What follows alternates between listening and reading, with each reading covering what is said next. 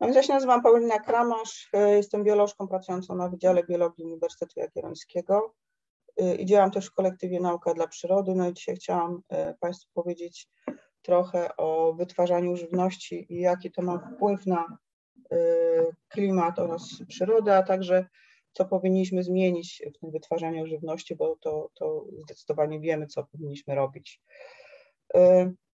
No więc w skrócie, rolnictwo już jest, datuje się, jest dosyć stare, niektórzy podają 12 tysięcy lat temu. To, co było takim dosyć dużym przełomem, no to jest rewolucja przemysłowa około 200 lat temu. No i niestety kolonizacja, czyli jakieś ostatnie 500 lat.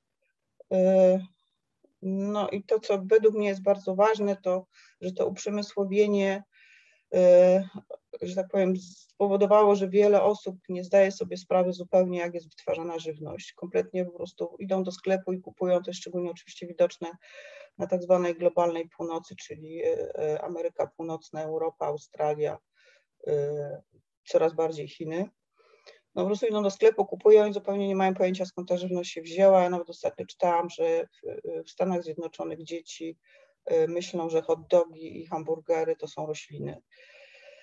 Y, no według mnie to, co jest najważniejsze, to jest ten Goliat, o którym y, mówiliśmy wcześniej, to zamiast toczyć spór o jedzenie i niejedzenie mięsa, zamiast obwiniać osoby konsumujące o to, co się dzieje ze światem i z wytwarzaniem żywności, powinniśmy się zacząć wspierać o to, czy naprawdę chcemy rolnictwa przemysłowego czy ekologicznego, bo to rolnictwo przemysłowe no po prostu właściwie nie ma żadnych zalet, co mam nadzieję uda mi się pokazać. E, zapomniałam podziękować oczywiście bardzo serdecznie za zaproszenie organizatorom, a przypomniało mi się to teraz, bo e, to się wzięło trochę z tego, że e, Marcin Urbaniak troszkę za moją namową przeczytał książkę Sitopia, która mi się bardzo spodobała i dla mnie ona jest też naprawdę bardzo dużym takim no, może nie tyle natchnieniem, ale no, takim, no, bardzo się dużo z niej dowiedziałam. Więc osoby, które y, nie do końca mają pojęcie o tym, jak jest żywność wytwarzana, jaka jest historia wytwarzania żywności itd., tak itd., tak to naprawdę bardzo polecam. Troszkę trzeba uważać przy tłumaczeniu, bo są tam na przykład takie kwiatki jak żubry amerykańskie zamiast bizonów, no ale generalnie y, dobrze się tą książkę czyta i można się naprawdę dużo dowiedzieć. Tutaj zresztą te parę rzeczy, które dla mnie były właściwie najważniejsze z, z tej książki oraz myśli Karolin Steele y, napisałam. Jeszcze mam nadzieję, że na koniec zdążę powiedzieć parę cytatów. Y, to, co mi się wydaje szczególnie jest obecnie ważne, szczególnie w obecnej sytuacji również w Polsce, to jest to, co napisałam w tytule tego slajdu. To znaczy, że dzielenie się posiłkiem to jest wrodzona cecha ludzi i tą y, cechę ludzi się w nas w tej chwili tak naprawdę zaburza. Po prostu lubimy się dzielić żywnością. A drugie, no to co jest bardzo ważne i to do czego doprowadza uprzemysłowienie, e, no, że po prostu e, ta część e, koncernu, która jest, związana z wytwarzaniem żywności, no to po prostu powoli przejmuje władzę również no, w dużej części na tym, co się dzieje w naszym świecie. I to jest ten pierwszy cytat, że od starożytności wiemy, że ten, kto kontroluje jedzenie, ten też ma władzę. No to wynika z tego, że to jest po prostu bardzo podstawowa potrzeba no bo bez żywności po prostu nie jesteśmy w stanie żyć. Y, ja wiem, że Piotr Skupa będzie mówił o, o zaniku bioróżnorodności, ja tylko czasem pokazuję ten wykres, bo on jest taki bardzo niepokojący, ponieważ w latach 70. ubiegłego wieku to jest zielona rewolucja, ale musimy też pamiętać, że pierwszy raport Klubu Rzymskiego Granice Wzrostu, czyli już wiemy coraz więcej, a tymczasem od tych lat 70. ubiegłego wieku Y, obserwujemy coraz bardziej dramatyczne wymieranie y, gatunków oraz coraz bardziej dramatycznie rosnącą temperaturę, czyli jest cała wiedza naukowa, ale nic nie jest z nią dobrze robione. No i jedną, jednym z powodów, który coraz głośniej się o tym mówi, no to jest lobbying y, koncernów związanych z paliwami kopalnymi. To, o czym się mało mówi, a co już też powoli wypływa, to jest też związane z kolei z lobbyingiem e, koncernów spożywczych i koncernów biochemicznych. Powoli się już też na, na ten temat dane ukazują. E, e, to, co powiedziałam wcześniej o tym, co Karolin Styl pisze, że kto kontroluje żywność, ten ma władzę, no to po prostu dlatego, że żywność to życie w obecnej sytuacji, w obliczu tego, co się dzieje również na granicy y, polsko-białoruskiej, y, postanowiłam dodać ten slajd, bo y, no, żywność może być traktowana niestety jako broń, czyli właściwie do, brak dostępu do tej żywności może być też traktowana jako swego rodzaju tortury. No i to się niestety dzieje na całym świecie. Tutaj jest parę przykładów mijanych przez laureatów ubiegłorocznej Nagrody Nobla. No i musimy pamiętać, że głód to nie jest tylko problem globalnego południa, ale w coraz większym stopniu globalnej północy. Jest to wynika po prostu z głębokich nierówności ekonomicznych. Tutaj dałam taką bardzo skrajną dane dla Polski, gdzie to ubóstwo dalej rośnie. No a to ubóstwo jest oczywiście też związane z ograniczaniem dostępu do żywności albo jeżeli już, no to do żywności bardzo słabej jakości, no co też jest, no, no po prostu no, godzi w zdrowie i życie ludzi. Jest też, o, o, czym się też mało niestety mówi, ale żyjemy też w czasach klęski głodu na Madagaskarze, która wynika głównie i przede wszystkim z uprzemysłowienia rolnictwa na, tym, y, y, na tej wyspie, ale to tak tylko sygnalizuje, jak ktoś jest zainteresowany, to polecam sobie doczytać.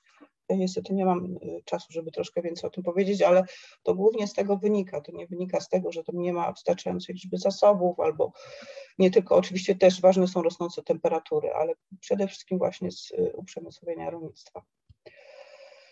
Y, no i dlaczego to rolnictwo dyskutujemy w, y, w kontekście również globalnego ocieplenia, ale również w kontekście kryzysu klimatyczno-ekologicznego. No tutaj, tutaj są dane, dane są różne, na przykład jeżeli chodzi o emisję gazów cieplarnianych, to nawet powodowane są y, wielkość, bo to chodzi o cało, całokształt w wytwarzaniu żywności, nie tylko samo wytwarzanie żywności, ale łańcuchy, łańcuchy dostaw i tak dalej, i tak dalej, że nawet do 35% ale no możemy oczywiście y, spekulować, no bo to wiadomo, że nie jest to takie całkiem proste do policzenia, no ale to, co jest najbardziej zatrważające, no to jest to wylesianie, tak.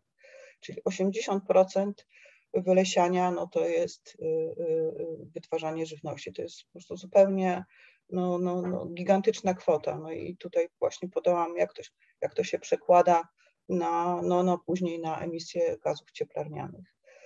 No, rolnictwo jest też odpowiedzialny za coś do takiej degradacji innego zasobu, czyli zużycia słodkiej wody.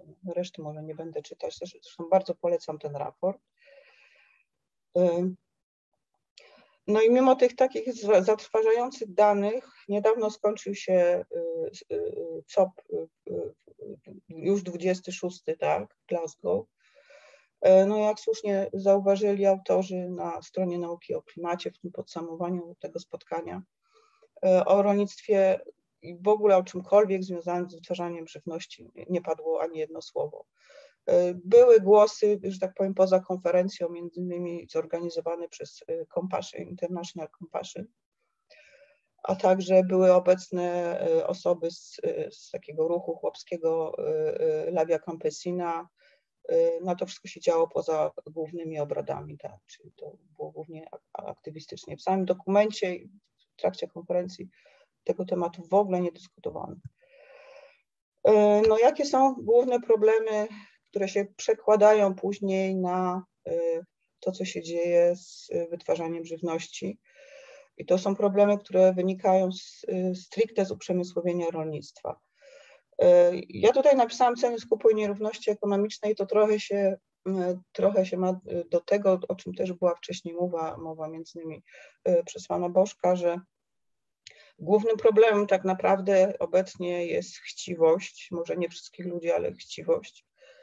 E, no i ta chciwość się przekłada na to, że e, koncerny, które dominują w, e, dominują w systemie wytwarzania żywności, doprowadzają do tego, że ceny skupu są no po prostu no, koszmarnie niskie, tak. I to prowadzi do tego, że osoba, która wytwarza żywność, tak, żeby móc godnie y, się utrzymać, tak, y, wieść godne życie i to się dzieje na całym świecie w różnej skali, no musi po prostu maksymalnie dużo tej żywności wytworzyć, tak. Y, prowadzi to też do tego, że bankrutują małe i średnie gospodarstwa, które po prostu nie są w stanie utrzymać tak niskich cen i przekształcane to jest na wielkoobszarowe monokultury oraz farmy przemysłowe. To zjawisko przekształcania niewielkich hodowli obecnie obserwujemy bardzo silnie niestety w Polsce. E, no i nierówności ekonomiczne, które właśnie powodują, że najmniej zarabiają osoby wytwarzające żywność. E, do tego wszystkiego te nierówności ekonomiczne też powodują, że osób na świecie, również w Polsce, to, to mówiłam o skrajnym ubóstwie, ale generalnie o ubóstwie, po prostu nie stać na dobrej jakości żywność. Więc to są takie y, dwie składowe, które się później przekładają na to, że mamy coraz większe uprzemysłowienie rolnictwa, mamy coraz więcej niepotrzebnie wyprodukowanej, taniej, pozornie taniej, y, pozornie taniej żywności, tak? No bo żywność po prostu nie może być tania, o czym zresztą też Karol Mistyl pisze. No ale trudno sobie w obecnej sytuacji y, wyobrazić podwyżki cen żywności przy tak, no powiedzmy, no Y, niskich zasobach y, ludności, która y, i te, ta, to ubóstwo, biednienie społeczeństw jeszcze po pandemii niestety, niestety rośnie. Więc to jest takie trochę błędne koło, z którego musimy się spróbować wybrać, wyrwać. Z czego to wynika? No więc na szczęście już jest coraz więcej artykułów i opracowań, które pokazują, że wynika to z tego, że, że no po prostu gigantyczne dotacje, które dostaje e, przemysłowe rolnictwo, w tym ta jego część bardzo duża, która mm, jest związana z, z hodowlą zwierząt.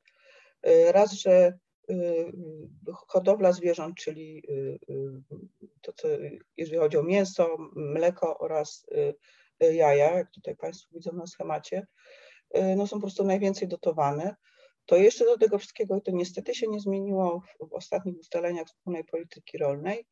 Najwięcej y, y, dotacji idzie do y, tak zwanych dużych, czyli do gospodarstw, czy też właściwie do fabryk, prawie że można powiedzieć, które mają najwięcej hektarów, tak, no i najwięcej zwierząt, tak, czyli po prostu najwięksi dostają najwięcej, no i oni mogą po prostu dyktować ceny dla reszty społeczeństwa. Y, no, co powoduje, że z hodowli ekologicznych praktycznie no, y, te osoby y, zamożne są w stanie kupić tego rodzaju produkty, no ale one są po prostu, no, nie są w stanie konkurować z, z tym, co pochodzi z rolnictwa przemysłowego.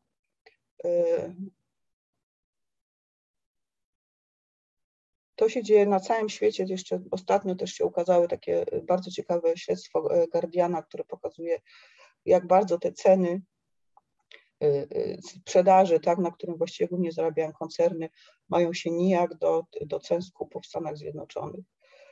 Oni tam piszą, że jeżeli chodzi o skup w Stanach Zjednoczonych, to do rolników i rolniczek trafia zaledwie 15 centów z dolara, tak, które kosztuje y, produkt rolniczy. Y, no już trochę mówiłam o rolnictwie przemysłowym, tak w skrócie. Rolnictwo przemysłowe się opiera przede wszystkim o wielkoobszarowe y, monokultury i fermy przemysłowe. To, co bardzo ciekawie, o czym bardzo ciekawie pisze Caroline Steele, to jest o tym, jak, skąd się wzięło w ogóle używanie nawozów mineralnych. No i tutaj można powiedzieć, że taka kartezjuszowska nauka, którą reprezentował Justus Leibig, e, zwyciężyła, ponieważ on uważał, że roślinom do szczęścia jest potrzebne tylko i wyłącznie parę pierwiastków, czyli to, co się obecnie nazywa e, NPK, czyli azot, potas i fosfor. Cała reszta jest im niepotrzebna. E, natomiast, że tak powiem, jego, swego jego rodzaju oponent, czyli Albert Howard, który pracował w tym samym czasie i opierał się o doświadczenia rolników i rolniczek, po prostu zauważył, jak ważna jest e, cała ta warstwa e, też próchnicza, e, cały ekosystem glebowy, że właściwie bez mikroorganizmów no po prostu rośliny chorują, tak? To znaczy, jeżeli ten ekosystem jest faktycznie bogaty, zawiera w sobie to, to co też jest coraz więcej badań na ten temat, na przykład grzyby mikoryzowe, to rośliny są zdecydowanie odporniejsze i na warunki środowiskowe, także mniej, mniej chorują. Albert Howard też podkreślał, że no nie możemy iść aż w taką dużą mechanizację y, y, rolnictwa. I on jest też tą osobą, o czym ja też będę trochę mówiła, który podkreślał znaczenie używania nawozów naturalnych, które pochodzą no przede wszystkim od zwierząt hodowlanych. No i to, co było jakimś takim no, nieszczęściem, które się zdarzyło w ubiegłym stuleciu, jeżeli chodzi o wytwarzanie żywności, że to wszystko się działo tuż przed II wojną światową. A między innymi z nawozami mineralnymi jest taki problem, że one, jeżeli się je stosuje, to są w stanie podnieść plony, ale na bardzo krótki czas, bo ponieważ są toksyczne między innymi dla tych mikroorganizmów glebowych, no to później po prostu prowadzą do wyjaławiania gleby. No, ponieważ to się działo przed II wojną światową, po tej II wojnie światowej najważniejsze było po prostu jak, jak najszybciej zapobiec rosnącemu głodowi, no więc właśnie niestety no cały system poszedł w kierunku używania nawozów mineralnych, ale także pestycydów, tak jak to Państwo mają na slajdzie.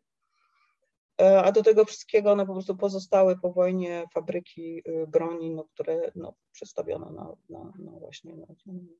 Jest to bardzo takie metafizyczne i symboliczne, że fabryki broni zostały przestawione na produkcję pestycydów i nawozów mineralnych. E, no i to, co jest chyba tutaj, no, jeszcze zielona rewolucja, która się też przyczyniła do zwiększenia używania tych y, y, syntetycznych środków ochrony upraw oraz nawozów mineralnych. E, no takie trochę zachłyśnięcie tymi technologiami, tak, to, to takie kolejne zachłyśnięcia technologiami, e, które no właściwie to coraz więcej nam kłopotów sprawiają niż, niż nam pomagają. E, no i trzeba, trzeba sobie jasno powiedzieć, że celem rolnictwa przemysłowego to nie jest zaspokajanie potrzeb żywnościowych ludzkości, to po prostu są maksymalne zyski.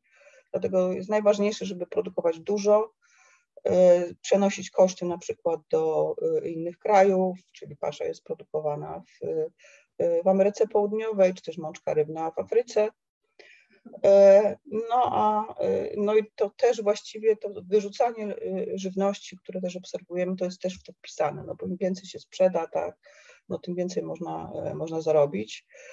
A do tego wszystkiego, o czym się bardzo mało, rzadko mówi, że pomimo, że to rolnictwo przemysłowe, przemysłowienie obejmuje już obecnie aż 70% zasobów rolnych, to żywi zaledwie 30% ludzkości.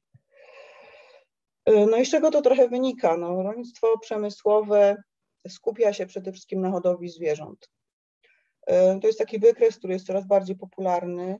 Y, I tutaj, jak Państwo widzą, te trzy ostatnie prostokąty, tak? Czyli właściwie nawet cztery. No, tereny rolne aż 50% terenów możliwych do zamieszkania, no, czyli bardzo dużo. Ale z tego aż 77%, a już są głosy, że nawet 81%, zajmuje wszystko to, co jest związane z hodowlą zwierząt, czyli między innymi pasza, ale też pastwiska, a zaspokaja zaledwie 17% y, potrzeb energetycznych ludzkości. No to jest, no to kompletnie stoi na głowie, prawda? Czyli tutaj już widać, że wystarczyło, żebyśmy to obrócili, tak, no zachow zachowując hodowlę zwierząt i jesteśmy w stanie y, wyżywić zdecydowanie większą liczbę ludzkości. Do tego wszystkiego y, to, czym też na szczęście się coraz częściej mówi, no to nie jest tak, że cały świat konsumuje, tak, tylko po prostu y, globalna północ, którą tu Państwo mają, zrobiła się bardzo fioletowa, no po prostu konsumuje najwięcej. To nie tylko oczywiście y, żywności, ale, ale wszystkiego, tak, kosztem y, biedniejszego południa. To jest taki ślad, który ja akurat dosyć lubię, on się nazywa ekologiczny ślad i oznacza konsumpcję na osobę 20 minut, tak? Y, konsumpcję na osobę, ale również z uwzględnieniem tego, co robi cały kraj. Y, I tutaj warto na przykład podać przykład y, Danii, tak?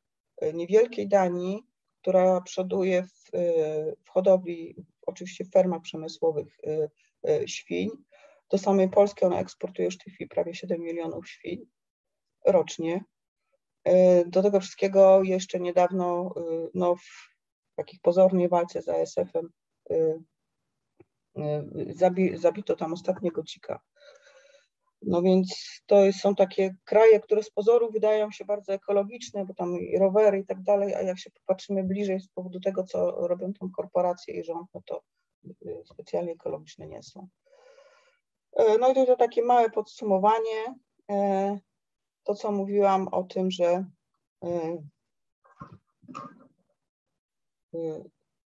jakbyśmy tylko odwrócili tak, te proporcje związane z y, uprawami roślin i hodowlą zwierząt, no byśmy byli w stanie no, no, o mało co trzykrotnie więcej ludzi na, na, na ziemi wyżywić niż jest obecnie. Te, te, takie dane podobne się zaczynają pojawiać również już publikowane przez ONZ. Y, tutaj jeszcze to, o czym za wiele nie mówiłam i co się też coraz bardziej wrzuca w oczy, to epidemia otyłości. Ponad miliard ludzi na świecie w tej chwili jest chorobliwie otyły.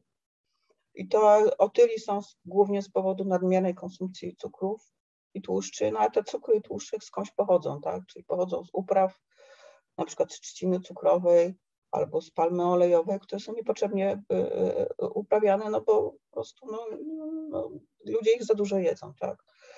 Y, bardzo ważne to wyrzucanie żywności, taki dosyć poważny problem, na szczęście też coraz bardziej nagłaśniany. To, o czym się też nie za wiele mówi, to z kolei uprawa zbędnych, nadmiarowych produktów, czyli na przykład bawełny na ubrania, które są wyrzucane. To ubrania są drugim źródłem śmieci na świecie. I to, o czym się też bardzo często zapomina, to jest ten ostatni punkt, że fermy przemysłowe, na szczęście już też o tym się mówi, są ogniskami chorób e, zwierzęcych. Tak? To nie jest tak, że to bierze się z małych hodowli, jak to niektórzy usiłują przekręcić, bo to tak trzeba sobie powiedzieć. No i wówczas, jak jest taka epidemia i nadchodzi znowu kolejna epidemia ptasiej grypy, setki, miliony, bo to naprawdę setki milionów zwierząt e, są zabijane. No i raz oczywiście ogromne cierpienie tych zwierząt i ich śmierć, a dwa, że tak naprawdę, no mówiąc, no tak, jak nie wiem, no tak, ten, może po prostu ta pasza, którą zostaje nakarmione, tak, gdzieś wy, uprawiano, jest też marnowana, tak.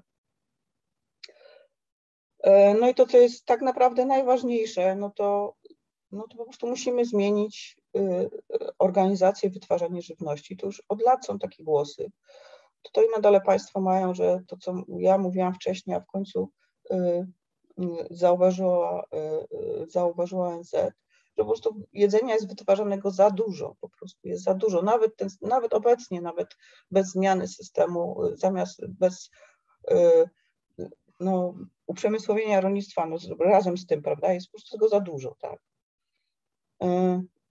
No ale niestety to, co wspominałam trochę i zapraszam serdecznie do przeczytania tego artykułu, to jest jeden z pierwszych artykułów, który pokazuje skalę lobbingu koncernów spożywczych akurat tutaj w tym przypadku. Jest tu znowu mamy Danię, no i mamy też Szwajcarię, tak, czyli Nestle. No więc są po prostu, prowadzą do ogromnych emisji, a jednocześnie łożą ogromne ilości pieniędzy tak, na reklamę mięsa, na przekonywanie, że trzeba jeść dużo mięsa, że nie da się tego inaczej zrobić niż w fermach przemysłowych, że niezbędna nam jest intensyfikacja rolnictwa, bo inaczej wszyscy umrą z głodu i tak dalej, i tak dalej. To wszystko się dzieje za sprawą ogromnego lobbingu, no tak, tak właśnie porównywalnego do tego, co y, robią i robiły koncerny paliwowe. Y, no są oczywiście różne rozwiązania. Y, znowu jakiś taki zachwyt nad technologiami, tak, czyli dwie takie technologie, które, które króciutko omówię, mięso i nabiał z probówki oraz produkcja białka roślinnego, bo po prostu się zapomina, że nauka to nie tylko technologie, ale po prostu wiedza i to wiedza biologiczna, ekologiczna, ale także społeczna, czyli oparta o tym, co się społecznie dzieje na świecie, o, o relacjach y, społecznych, o tym, jak powinny wyglądać społeczności. No i się po prostu zaniedbuje i no to ewidentnie właśnie widać no, w technologiach, które teoretycznie mogły nam pomóc, czyli na przykład w nawozach mineralnych. No ale ponieważ one są kompletnie niewłaściwie używane, zamiast być używanych w takich no, dawkach naprawdę bardzo niskich, no to stały się głównie źródłem zysku, no i, no i po prostu no, pogrążają nasz y, świat, również dokładając się na przykład do emisji gazów cieplarnianych, bo stąd też podchodzi, y, pochodzi y, potlenek azotu. A do tego wszystkiego zapominamy, no, że no, po prostu to, co jest nam niezbędne z taką rzeczy, którą powinniśmy przejść, no to jest gospodarka cyrkularna i ona szczególnie jest ważna, jeżeli chodzi o wytwarzanie żywności. Po prostu powinniśmy próbować ustawić tak wytwarzanie żywności, żeby ono przypominało zamknięty cykl e, obiegu materii i energii w, w przyrodzie. Tutaj Państwo mają taki bardzo uproszczony ekosystem, gdzie mamy producentów, czyli rośliny, które czerpią energię ze słońca, tak, oczywiście przetwarzają dwutlenek węgla, ale to, co jest bardzo ważne, przetwarzają też martwą materię organiczną. I ta martwa materia organiczna pochodzi z martwych zwierząt, z odchodów tych zwierząt i tak dalej. Bez tego system nie jest w stanie po prostu normalnie funkcjonować. Oczywiście jakoś tam sobie poradzi, tak, ale to prowadzi, że tak powiem, do większej jego stabilności. Natomiast to, co my robimy, to zapominamy zupełnie i to widać po prostu na co dzień, naprawdę w wypowiedziach wielu osób, że Ziemia jest układem zamkniętym i mamy tylko jedną planetę. I praktycznie nie ma wymiany materii, bo jakaś tam trochę energii e, pomiędzy e, Ziemią a jej otoczeniem, czyli jak będziemy zużywać zasoby, no to po prostu ich nie przybędzie, one nie przylecą z kosmosu. A tymczasem marnujemy je no po prostu na śmieci. Tu jest parę przykładów takich śmieci. E, troszkę może przyspieszę tę część. E, no i właśnie, no według mnie mięso i nabiał z probówki, no to jest taka kolejna produkcja śmieci. E, przede wszystkim zamiast się skupić na tym, że powinniśmy oszczędzać energię, bo o tym też będzie mowa w trakcie, mm, e, w trakcie tej konferencji, będzie mowa o energii, no to wymyślamy sposoby wytwarzania żywności, które się opierają znowu na dostarczaniu energii, tak. Natomiast po prostu pozwolić rosnąć żywności tak jak się to dzieje y, w naturalnych ekosystemach. No i tutaj Państwo mają takich właśnie parę pytań, na które sobie trzeba odpowiedzieć, jeżeli mamy myśleć o sensowności y, mięsa i nabiału y, z probówki. No i ta produkcja białka roślinnego, która jest też dla mnie zupełnie kuriozalna, bo zwykłam powtarzać, no czy naprawdę nie możemy po prostu ugotować tych fasolek albo gotować, na przykład zrobić bardzo szybki posiłek z soczewicy, z oliwą i z suszonymi pomidorami. Tylko znowu musimy mieć produkt, który jest zapakowany w plastik. E, gdzieś, gdzieś powstaje fabryka, żeby przerobić tą soczewicę czy też inne e, wysokobiałkowe rośliny na jakieś tam tak zwane białko rośliny. No, po prostu idzie to w zupełnie złym kierunku. E, no i do tego oczywiście trzeba pamiętać, że i tak są prognozowane wzrost produkcji plastiku, no bo ten plastik gdzieś trzeba upchać, no więc będzie upychany plastik między innymi no, w takie opakowania zawierające no, często wysoko przetworzone e, białko roślinne. Do tego wszystkiego to, co jest bardzo groźne i zarówno w tym mięsie z próbówki, jak i w produkcji białka roślinnego, że podobnie jak całą resztę wytwarzania żywności, Y, zaczynają y, dominować y, coraz mniejsza liczba koncernów, w tym te najgorsze. Tutaj Państwo mają parę ich wymienionych. No po prostu widzą w tym świetny, raz, że świetny interes, no a dwa, że świetny, no po prostu greenwashing, tak, no.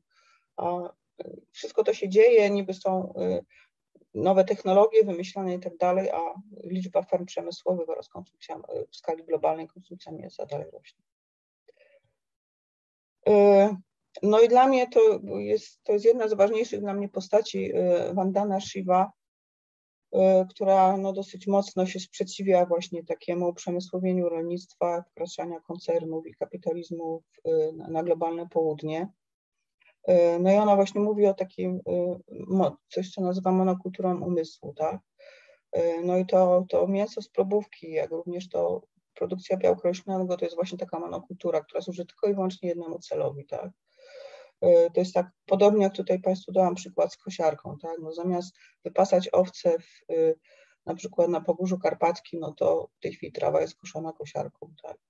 Co na pewno też zmienia tamtejszy ekosystem, no bo kosiarka no, nie, nie produkuje odchodów też użyźniających tamtejsze y, ekosystemy. No i to, co tutaj też napisałam, że przy okazji my też powinniśmy się włączać w ten obieg materia, przestaliśmy, bo zapominamy, że my też wytwarzamy nawóz, tak? I ten nawóz, który my wytwarzamy, czyli nasze odchody oraz mocz, w wielu krajach przez wieki, to akurat jest przykład z Indii, ale też w Chinach, był po prostu używany do produkcji nawozu, ale także do produkcji no, gazu y, naturalnego, który był używany chociażby do podgrzewania posiłków. No, to wiadomo, że to można zmienić, tak, ale nic się po prostu nie marnowało, tak? Również, że tak powiem, nasze odchody. E, no jak ja uważam i myślę, że wiele, coraz więcej osób to też mówi, nie tylko ja to wymyśliłam, konieczne rozwiązania na początek.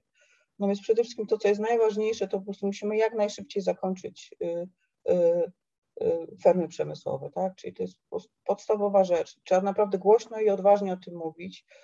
Wczoraj na przykład przeczytałam bardzo pozytywną wiadomość, że we Francji ma być właściwie z trybem natychmiastowym wprowadzany zakaz hodowli zwierząt futerkowych. Więc to się po prostu da zrobić, tak? Nie, no, no to jest, no nie, przynajmniej na początek zacząć to w Polsce, żeby po prostu nie pozwalać na kolejne farmy przemysłowe, a to się po prostu dzieje prawie codziennie, tak? I to w jakichś takich kosmicznych miejscach typu Podlasie, Kruszyniany, gdzie się planuje fermę, tak, która zniszczy po prostu nie tylko tamtejsze środowisko, ale społeczności, tak. No ale trzeba oczywiście to musi iść jednocześnie z maksymalnym ograniczeniem hodowli zwierząt, które jeżeli mają być hodowane, to musi być im zapewniony dobrostan. Żeby to się po prostu nie skończyło tak, do czego są przymiarki, że przejdziemy na zapewnienie zwierzętom, no akurat tutaj się spiera z tym dobrostanem, ale będzie, będą to hodowle wolne, tak, czyli z wybiegiem. No, po prostu nie może tak być.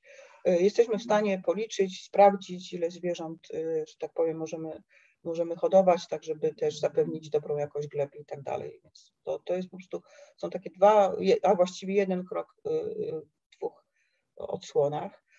E, to, co jest też niezbędne, no to stopniowy zakaz używania nawozów mineralnych oraz syntetycznych środków ochrony roślin antybiotyków, które jest po prostu trujące dla środowiska i to również dla środowiska związanego z, z rolnictwem. Bardzo ważne jest skrócenie łańcuchów dostaw. Żywność musi być produkowana lokalnie i sezonowo. No i godne zarobki, o czym już też wspominałam, a także tak y, y, no, dostęp do, do dobrej jakości żywności dla każdej osoby, czyli żywność, tak jak na początku wspominałam, powinna być prawem, a nie towarem, nie źródłem zysku, ale no po prostu źródłem życia. Y, no jak to możemy zrobić? No więc to się, te procesy się już dzieją, to jest to, dlaczego ja osobiście dosyć lubię mówić o rolnictwie, bo ono w dużej mierze no, daje sporą nadzieję na taką i takie sporą, spore nadzieje też na zmiany dosyć w okolicy w miarę szybko. E, no więc intensyfikacja oczywiście jak najbardziej, ale ekologiczna i to się już zresztą taki termin zaczyna funkcjonować. E, tutaj przy płodozmianie dałam e, uśmieszek, ponieważ płodozmian coraz bardziej wraca do łask, a jest to technologia, agrotechnologia, jak to się mówi, którą znamy od no, jakieś 1500 lat. Tak więc tu widać właśnie tę niezbędność powrotu do wiedzy i doświadczenia rolników i rolniczek. To, co świetnie działa, to y, miedze i zadrzewienia śródpolne. I to są już też badania, które pokazują, że, y, które pokazują, że miedze i zadrzewienia śródpolne poprawiają nie tylko y, bioróżnorodność krajobrazu rolniczego, ale poprawiają też stosunki wodne, Y, są też y, no, takim miejscem, które może y, grozić pożary czy też inne klęski żywiołowe, ale do tego wszystkiego, ponieważ to miejscem dla życia, dla organizmów pożytecznych, tak, czyli na przykład takich uważanych za pożyteczne, czyli na przykład takich, które żarują na, żerują na niepożądanych owadach czy też gryzoniach, zdecydowanie zmniejszają, redukują maksymalnie użycie syntetycznych środków obrony upraw. Tak? Do tego wszystkiego przez to, że, że są im poprawiają stosunki wodne i też są takim źródłem e, chociażby mikroorganizmów, powodują, że no, przy takim gospodarowaniu używa się zdecydowanie mniej nawozów e, w ogóle, a szczególnie tych właśnie nawozów e, mineralnych. I tutaj taki parę zdań na temat integrowanej uprawy, uprawy, czasem to się nazywa integrowaną ochroną upraw.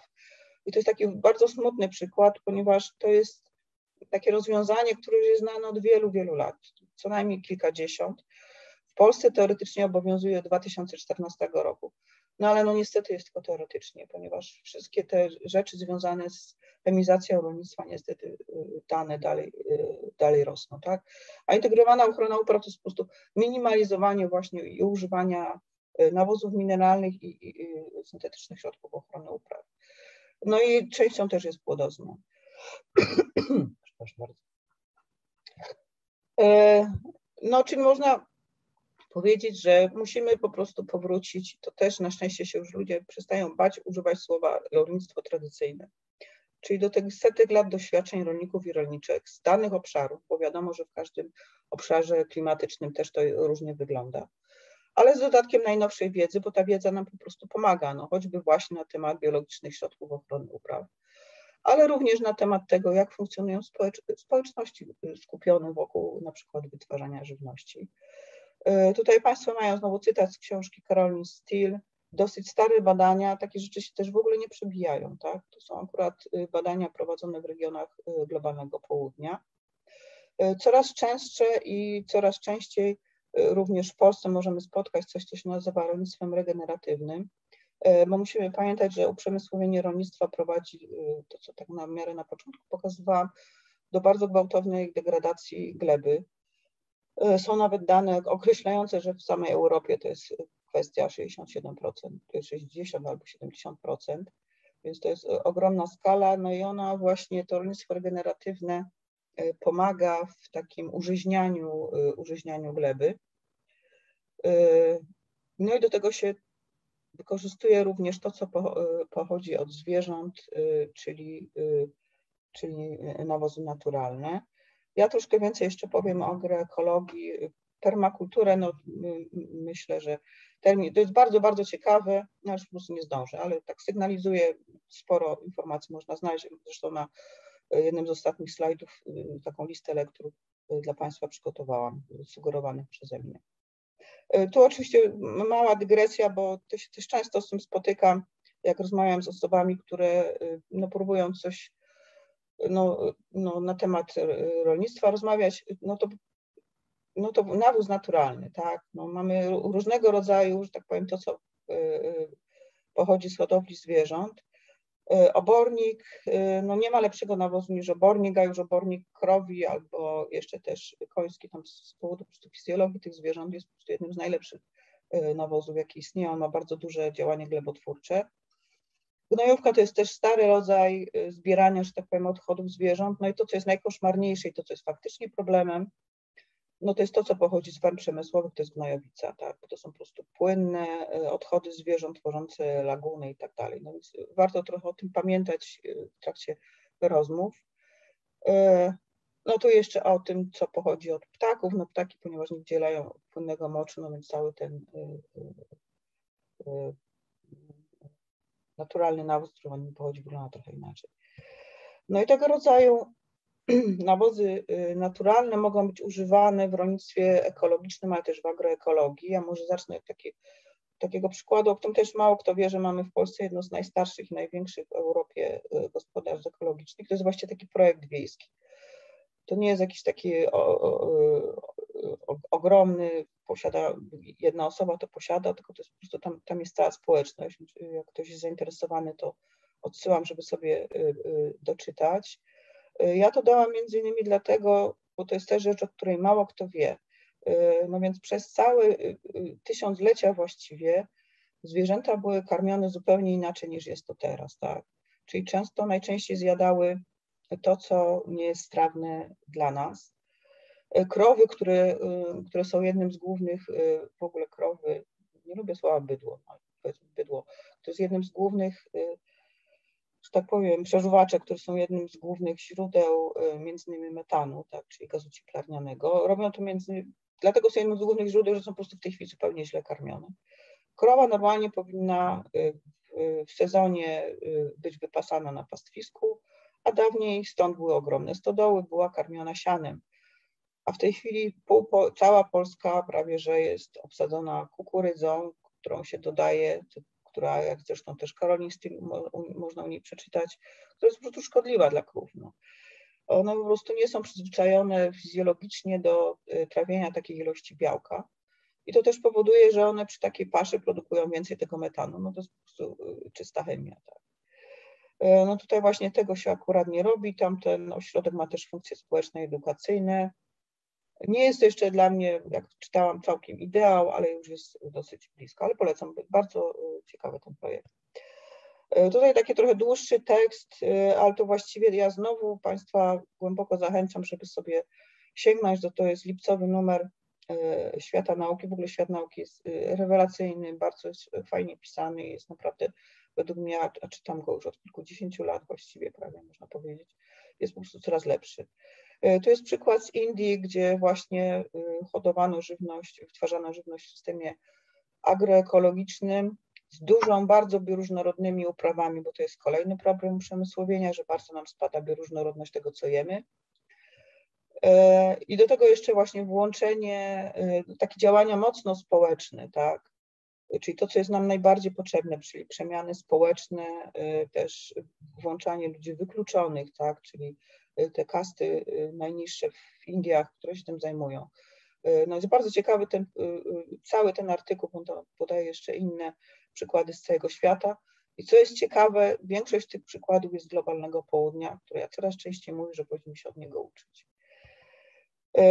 No i sama agroekologia to jest maksymalnie ekologiczne wytwarzanie żywności w sposób taki, żeby przypominał to, co się dzieje w, w naturalnych ekosystemach. Maksymalnie różnorodne uprawy, czyli polikultury, obsadzanie uprawami nieogromnych obszarów, ale tak, żeby były i miedze, i zadrzewienia śród, śródpolne. Muszą być dostosowane do terenu, do, danej, do danego klimatu, tak, do danej gleby to, co mówiłam też chwilę wcześniej, no to jest bardzo ważna decentralizacja wytwarzania żywności. E, I na przykład połączenie z rozproszonym systemem e, e, produkcji energii. I to, co jest bardzo ważne w agroekologii, to co ja też właśnie bardzo lubię, to jest odbudowywanie ludzkich społeczności. To jest po prostu łączenie osób, które tylko konsumują żywność, z osobami, które ją wytwarzają na różnym poziomie. Taki powrót do tego, że osoby konsumujące po prostu wiedzą, skąd się bierze y, głupia marchewka. Tak?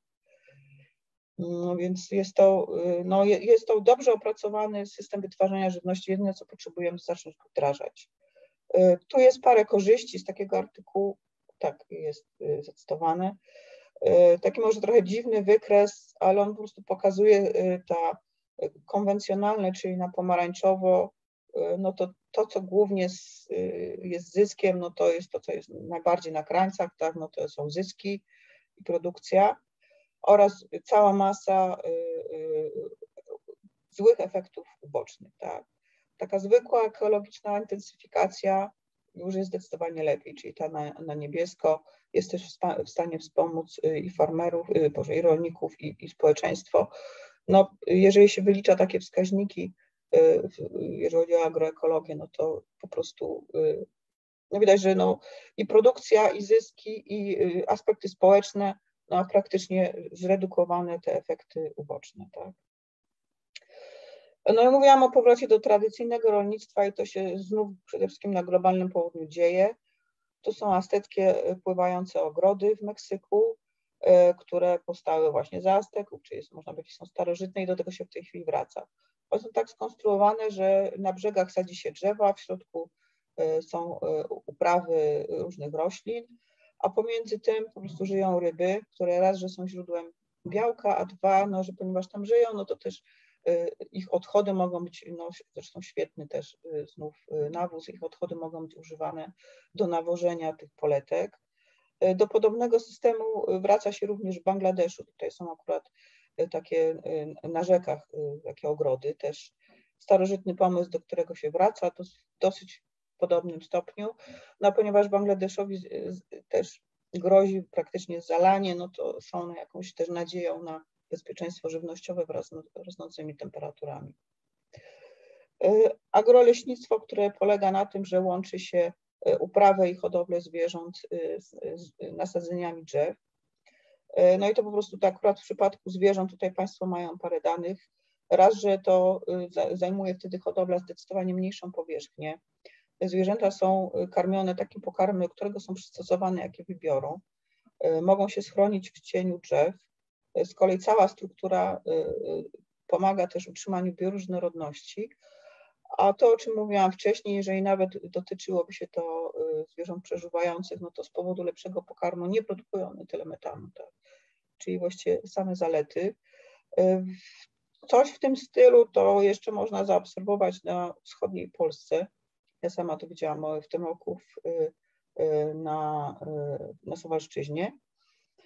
E, I tutaj takie e, fajne dane z e, niedawnego artykułu, między innymi Adama Zbryta, o tym, jak, że tak powiem, te krowy pomagają zwiększyć liczebność bocianów.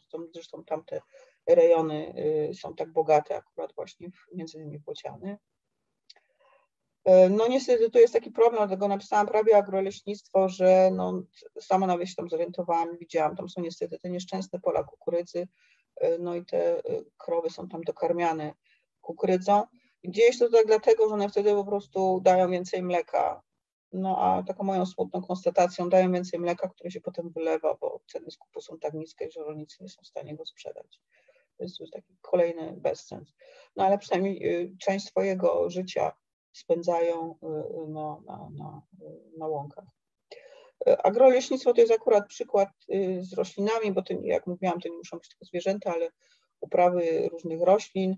Tutaj podlinkowałam film, który warto sobie zobaczyć, przynajmniej taką jakąś pierwszą godzinę. No, że takie metody się już coraz bardziej wprowadza, na przykład do uprawy, uprawy ziół. To są oczywiście, to ja to wszystko upraszczam, ale to jest bardzo fajne, jak, to, jak głęboka wiedza biologiczna, ekologiczna, jak się wiele można nauczyć po prostu w ten sposób wytwarzając żywność. To jest takie bardzo cenne. A już pomijając wszystko inne, no to no, szczególnie w przypadku no to są po prostu rzeczy, które są piękne, tak? To nie jest y, monokultura, tak, y, porośnięta jedną rośliną. No, może niektórzy się zachwycają rzepakiem, no ale to tylko po prostu różnorodny krajobraz rolniczy, dostarczający też miejsca życia dla wielu dzikich gatunków. E, no i tak, to co się przewija, oj, troszkę się rozgadałam, jeszcze dwie minutki, no to są, to co jest najważniejsze, to są działania społeczne. No i takie rzeczy się już dzieją. Y, jak mówi jeden z moich y, ulubionych ogrodników miejskich, wytwarzanie własnej żywności jest y, jak drukowanie własnych pieniędzy.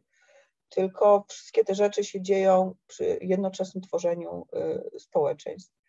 Także i w Polsce jest coraz więcej kooperatyw, coraz więcej jest tych ogrodów miejskich, rolnictwa miejskiego, ale to nie jest tak, że to jakaś jedna osoba komuś płaci. To są rzeczy, które są tworzone wspólnie, tak? Czyli odzyskujemy tą naszą bardzo ważną cechę, e, jaką, jakąś jest e, społeczność, tak?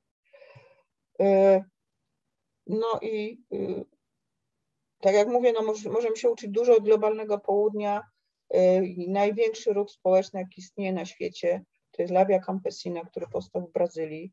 Działa w wielu miejscach właśnie no, tak powiem, tego regionu globalnego południa, ale w Polsce się to już też rozkręca, rozkręca się też y, w Europie. Y, tutaj też bardzo polecam przeczytanie deklaracji praw chłopów i chłopek opracowanej właśnie przez Lea Campesina, bo jest to bardzo piękna deklaracja, tam jest nie tylko troska o środowisko, o żywność, ale również troska o y, prawa człowieka, tak? czyli na przykład mniejszości seksualne, czy też kobiety, tak dalej, tak dalej. Dobrze, ja to może pominę, bo już naprawdę skończę. To, co jest też dla mnie ważne w Polsce, to jest działanie koalicji Żywa Ziemia, która na szczęście jakoś robi się coraz bardziej widoczna, która bardzo naciska na przechodzenie właśnie na systemy ekologiczne. I naprawdę tam osoby tam działające robią dużo dobrego również we wprowadzaniu poprawek i tak dalej, czyli po prostu jak gdyby tworzą taką całość, o której też y, y, Pan Boże mówił, tak, czyli i nie, tylko ten najniższy poziom, ale również wpływanie na polityków i polityczki. Zawiązał się zresztą dzięki koalicji Pakt Społeczny dla Polskiego Rolnictwa, który jest bardzo, bardzo ciekawy i ważny. Y, od, odbyła się już jedna dosyć duża debata. E, został podpisany przez wiele proekologicznych e, organizacji. No i muszę, to już muszę niestety z tym zostać. Moje, jeden z moich ulubionych ruchów społecznych Stop Fermom Przemysłowych, który faktycznie bardzo działa mega oddolnie, wspomagając mieszkańców, mieszkanki, w, no właściwie, bo to jest walka, tak, walce o niebudowanie ferm przemysłowych w okolicy. I to są najczęściej mieszkanki y, y, mieszkańcy wsi, tak. Y, no tutaj jest parę danych i to, co mnie tak uderzyło, jak czytam ten artykuł, to właśnie to podkreślenie, że nawet jeżeli im się uda chociaż na chwilę, na parę lat opóźnić budowę takiej fermy, która w ogóle nie powinna była powstać, tak, to są w stanie uratować przez to setki milionów zwierząt. E, no jeszcze na koniec e, cytaty z Carol e, Steele, te takie jedne z moich ulubionych, o tym między innymi, że jesteśmy coraz bardziej konsumentami, a nie producentami, ale są też już ruchy między innymi związane z wytwarzaniem żywności, które się próbują temu przeciwstawić. To, co jest też ważne, to, że właściwie nie zauważamy w naszym bogatym życiu tych wszystkich problemów związanych z jedzeniem, czyli to, co jest w tym drugim cytacie, a tak naprawdę na tym wszystkim, co jest związane i z wytwarzaniem, i z y, przygotowywaniem posiłków i tak dalej, możemy zbudować sobie po prostu dobre życie. I na koniec, ponieważ ja udostępnię ten wykład jako PDF, parę rzeczy, do, do której, że tak powiem, no, polecam do przeczytania może akurat. Y, przepraszam za przedłużenie i tyle z mojej strony. Bardzo gorąco dziękujemy za ten szalenie ciekawy wykład o no, fundamentalnej e, roli jedzenia i wytwarzania jedzenia. E, pani profesor absolutnie nie przedłużyła, tylko wykorzystała maksymalnie produktywnie ten czas. E, a e, ponieważ mamy jeszcze kilka minut e, i nie wiem, czy z nami jest już kolejny gość, pan profesor Szymon Malinowski, to ja chciałbym tutaj zadać pytanie i też zwrócić uwagę na jedną rzecz, która uderzyła mnie tak z zainteresowaniem że kiedy pani profesor wspominała o takich, można powiedzieć, liderach agroleśnictwa i agroekologii, to pani profesor podawała przykłady krajów, które raczej go kojarzymy z globalnym południem, których nie kojarzymy z e, e, takim lider, liderowaniem, to znaczy tam była mowa o Bliskim i Dalekim Wschodzie i o północnej części Ameryki Łacińskiej, których raczej Kolumbia na przykład, czy Indie, których no, nie, nie, nie kojarzymy z, z byciem no, takimi pionierami pionierami po prostu wytwarzania chociażby jedzenia. Wręcz mhm. raczej te kraje nam się kojarzą w jakiś sposób pejoratywnie, jeżeli chodzi tak, o. Są zacofani, tak. tak. Ale jest tutaj pytanie od y, y, słuchacza, uczestnika. Y, y pan, który podnosi rękę, y, słuchamy pytania. E, dzień dobry, Robert Jurszo. E, ja dziękuję, dziękuję za ten bardzo ciekawy wykład. Wiem, że czasu jest mało, więc ja miałbym e, tylko dwa krótkie pytania, chociaż pewnie odpowiedź na nie będzie na pewno pewnie dość długa. Ale moje pierwsze pytanie jest tak, czy to faktycznie zostało policzone, że likwidacja takiego rolnictwa wielkoobszarowego doprowadziłoby do obniżenia do obniżenia cen hodowli ekologicznej? To jest moje pierwsze pytanie. A drugie moje, a drugie moje pytanie, e, gdzie mam, e, e, jest takie, czy możemy wyeliminować zwierzęta z produkcji rolniczej? Innymi słowy, to jest pytanie o to, czy jest możliwe wegańskie rolnictwo. Dziękuję. No to pierwsze pytanie, tak, to już wiadomo, po prostu no, chodzi o to, to co, co mówiłam, sobie zdaję sprawę, że ten wykład był przeładowany treścią. Ja normalnie mam po prostu kurs 30 godziny na ten temat albo 4 godziny ale po prostu zdaję sobie sprawę, jak niewiele ludzi wiedzą na ten temat, no więc trudno. Stwierdziłam, że zaryzykuję i zaleję informacjami. Tak, no y, tam wspominałam, raport ONZ po prostu pokazuje, y, jaka jest skala dotacji do rolnictwa przemysłowego. Y, to znaczy ono bez tych dotacji by sobie po prostu nie poradziło, bo to wszystko to, co my kupujemy z, z takim, że to jest tanie, to słynne tanie mięso, czyli na przykład te koszmary pod tytułem piersi piersi z kurczaka za 8 zł za kilogram, to funkcjonuje tylko i wyłącznie dzięki dotacjom no, i tak użyję takiego dosyć kolokwialnego słowa, brutalnego, i żerowaniu na globalnym południu. Tak. No więc tak, tak, to, to zdecydowanie. Y, no po prostu, no, a już szczególnie mięso, nabiał i jajka no, są po prostu za tanie, no ale one, ale z kolei ludzi nie stać w tej chwili na, na kupowanie droższych, więc to stąd napisałam te, te dwie rzeczy, także to, to na pewno tak. Y, natomiast jeżeli chodzi o wegański wegańskie rolnictwo to oczywiście nie jest możliwe. Zresztą nie napisałam, będzie wkrótce mój artykuł na ten temat y, w zielonych y, wiadomościach. Ja sobie zdaję sprawę, że to jest rzecz, która y, bardzo duży opór powoduje wśród osób, które, no to jest oczywiście problem etyczny związany z zabijaniem zwierząt i tak dalej, ale to po prostu jeżeli chcemy mieć dobrze ustawiony system wytwarzania żywności, który minimalizuje wpływ, y, negatywny wpływ na środowisko, ale także sekwestruje y, dwutlenek węgla, tak, bo to jest możliwe właśnie między innymi przy rolnictwie regeneratywnym albo y, tego rodzaju podobnych systemach tworzenia żywności, no to po prostu te zwierzęta, tak jak w normalnym ekosystemie, no po prostu muszą być obecne. No my jesteśmy jednym z tych zwierząt w tym ekosystemie, tak. To, co powiedziałam, że no, marnujemy to wielkie dobro pod tytułem nasze odchody i nasz mocz, jakkolwiek się nam to podoba, y, a wiem, że też wobec tego są dosyć duże opory, to przez wieki było, przez tysiąclecia było też wykorzystywane. Y, a do tego wszystkiego no, po prostu jest taki też problem, no, że no raz, że zapominamy, że człowiek jest wszystkożerny I to działa w obydwie strony, to znaczy nie może jeść ani za dużo mięsa, a jeżeli ktoś rezygnuje z mięsa na biało oraz jajek, no to ja sobie zdaję sprawę, że to są kwestie etyczne. No ale tutaj dochodzi, dochodzą wtedy no niestety problemy z, chociażby z witaminą B12. No albo jesteśmy fizjologicznie kropka z korzeni, no, no więc to jest kolejna sprawa, no ale powinniśmy po prostu tworzyć jak gdyby część tego ekosystemu rolniczego, tak? A zwierzęta hodowlane y, no, zdecydowanie lepiej jak gdyby zastępują inne, inne zwierzęta roślinożerne w, y, w ekosystemach, no ponieważ mają, y, są udomowione, mają takie cechy, które no, pozwalają na to, że to na przykład produkcja mleka jest większa, produkcja jajek. A już pomijając wszystko inne, no po prostu zapominamy, że większość potomstwa y, w przyrodzie po prostu ginie, tak? No więc jest zabijana, no ta śmierć i y, umieranie jest, jest ten, obecny w przyrodzie. No więc odpowiedź na to pytanie jest dosyć skomplikowana, ale no po prostu jeżeli mamy mieć system wytwarzania żywności jak najlepszy, naj, najbardziej dający jak największe plony i naj, największą ilość żywności i najmniej szkodzący naszej planecie przy okazji, no to bez zwierząt jest to niemożliwe. Dziękuję. Odpowiedziałam pytanie, na Twoje pytanie, Robercie. Tak, tak, bardzo dziękuję za, to, za tą odpowiedź. Dziękujemy bardzo. Drodzy Państwo, wykorzystując, że zostały nam całe trzy minuty, może ktoś z Państwa ma jeszcze pytanie? Ja się ja chciałam tylko zapytać, czy mhm. widać, tą, e, czy widać PDF-a z wykładu? Tak, jest, jest widoczny PDF. Mogę go też rzucić później na Facebooka.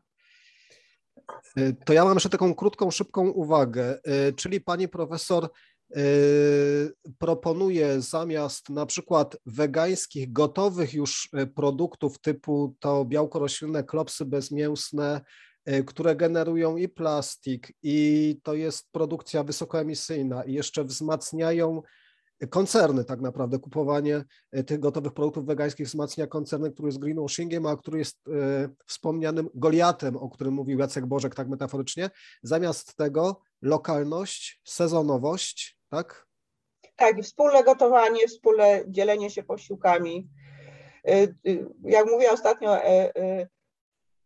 Ewa Bińczyk, trzydniowy tydzień pracy, dzięki czemu mamy więcej czasu na to, żeby wspólnie przygotować posiłki i cieszyć się tym jedzeniem. Moim marzeniem jest coś, co jak lata temu podróżowałam po świecie, widziałam właśnie na globalnym południu, y, mnóstwo miejsc, gdzie można zjeść dobre, tanie jedzenie, tak? Nie jakieś wypasione restauracje. I część osób ma y, radość z tego, że przygotowuje posiłki innym osobom, a są to miejsca też, gdzie się ludzie spotykają. To jest dla mnie takie, jeżeli chodzi o żywność, takie jedna z rzeczy, która wszystkim by nam świetnie zrobiła zamiast, ludzie zamiast produkować reklamy, by y, y, y, gotowali jedzenie dla innych. Pani profesor, to czekamy na jakieś artykuły, teksty, które by upowszechniały tą wiedzę, no bo chyba zdecydowanie brakuje tej świadomości w społeczeństwie i wszystkim nam przydałaby się taka dodatkowa wiedza w postaci kolejnych tekstów, kolejnych wystąpień. No ja zapraszam, będą w najbliższym czasie webinary na koalicji Żywa Ziemia, tam też będzie sporo na ten temat. Także. Bardzo gorąco dziękujemy. Ja też bardzo dziękuję również za możliwość wykładu i no, mam nadzieję, że się chociaż trochę informacji Państwu przydadzą. Serdecznie dziękujemy, będziemy wykorzystywać.